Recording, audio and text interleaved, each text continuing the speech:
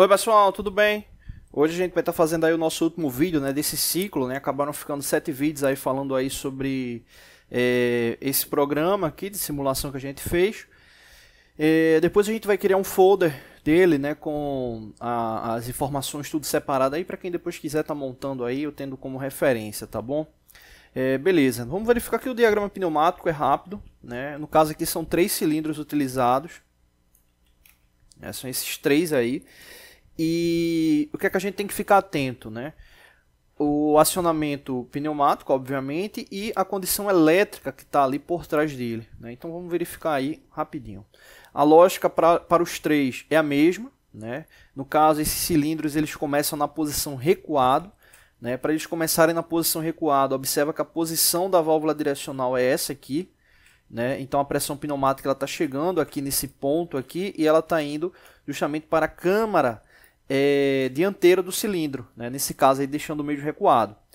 E para que ele possa alterar, ele teria que mudar a condição lógica da válvula. E esse acionamento ele ocorre por meio da solenoide.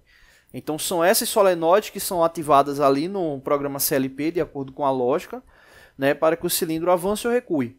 Né? Então nesse caso aqui, esses cilindros eles são comandados por essa válvula aqui, que é uma válvula 5 duas vias, é, dupla pilotada né, por solenoide, né, ou uh, pilotada por solenoide, né, duplo solenoide. Né. Então essa daí é, a, é o uso aí dessa, dessa válvula direcional.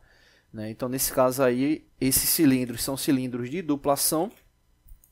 Né, tá aqui cilindro de duplação.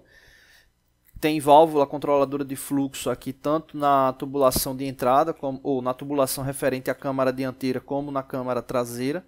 Quando você dá um duplo clique no elemento, né, você vai ver aqui que tem as possibilidades de configuração né, do, desse pequeno sistema pneumático. Né? Então aqui tem algumas observações.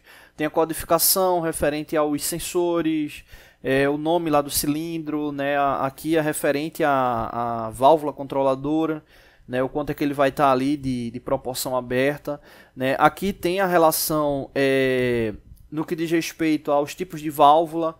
Né? Aqui se o cilindro ele vai estar tá iniciando avançado recuado. Não tem tanta possibilidade, né? mas ajuda principalmente nessa parte de simulação né? CLP. Né? Realmente aí você quer algo mais aprofundado nessa parte de simulação pneumática, hidráulica. Né?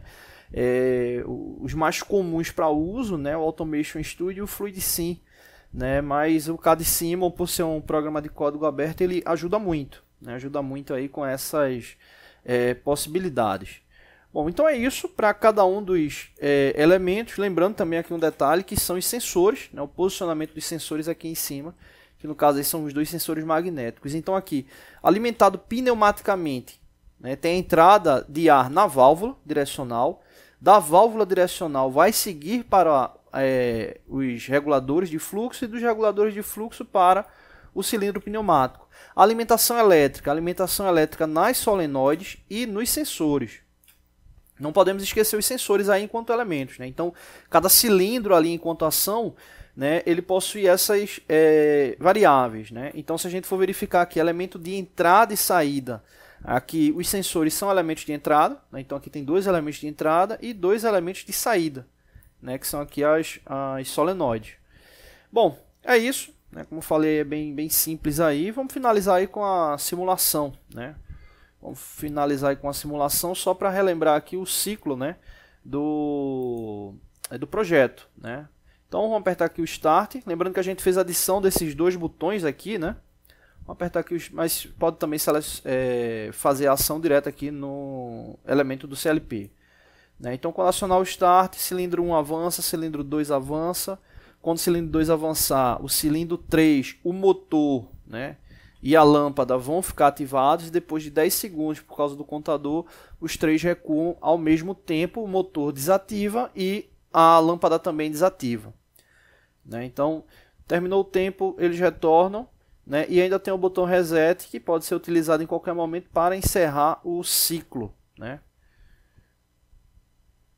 Bom, uma coisa que dá para perceber bem é que os 10 segundos aqui do Cade Simon são 10 segundos bem contados, né? Bom, resetou o resetou não, né? Recuou e desligou elementos. Vou só apertar o Start de novo para testar ali o, o reset. Né? Apertou o reset, o ciclo ele automaticamente encerra e fechou. Tá bom? Então depois a gente monta um folder, posta lá no Facebook aí para quem quiser é, baixar. Valeu!